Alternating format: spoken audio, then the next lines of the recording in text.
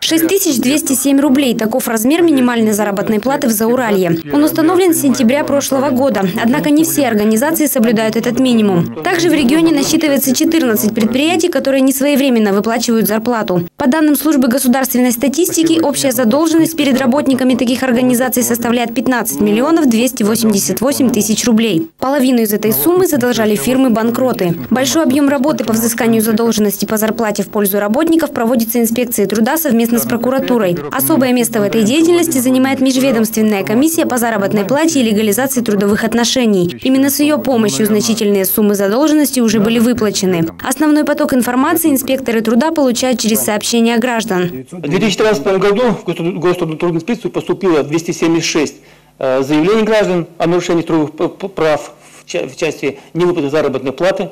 По всем э, данным случаям проведены проверки, работодателям выданы соответствующие предписания и э, выплачены положенные э, суммы заработной платы. За 8 месяцев текущего года по таким предписаниям был выплачен 21 миллион рублей. 2500 работников на 36 предприятиях области получили свою зарплату. В соседних же регионах размеры задолженностей разнятся. Так, самый большой долг – 310 миллионов насчитывается в Свердловской области. Меньше всего работодатели должны своему персоналу на Ямале. Здесь сумма невыплаченной зарплаты составляет всего 800 тысяч рублей. Дарья Федерягина, Никита Мухин, информационное агентство Курган.ру